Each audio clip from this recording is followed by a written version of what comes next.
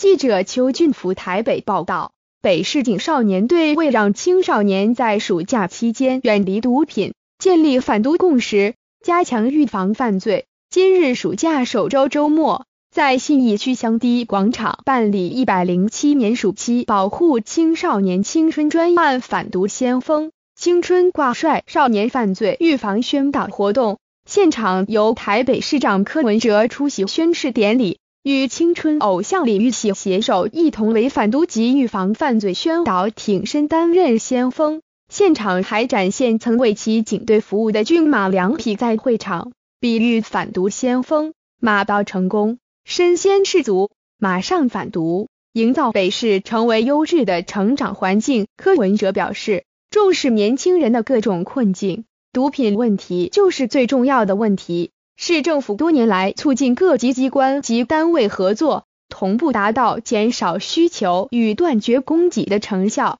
增进民众及学生反毒意识，共同打击毒品。活动代言人低能李玉喜则说：“千万不要因为好奇就随意去尝试，也不要因为逃避现实或者想要缓解压力去使用毒品，因为这是伤害自己身体，也会伤害到别人的行为。”一定要找到健康的方式去疏解自己的情绪。警方表示，这次活动结合市府各局处在信义区香堤广场举办，并将反毒品、反暴力、反霸凌、防诈欺、防窃盗、防性骚扰等议题，特别精心设计成闯关游戏，融入各种摊位，让青少年及民众透过这类趣味活动，学习到相关法令与自我保护观念。有效预防犯罪。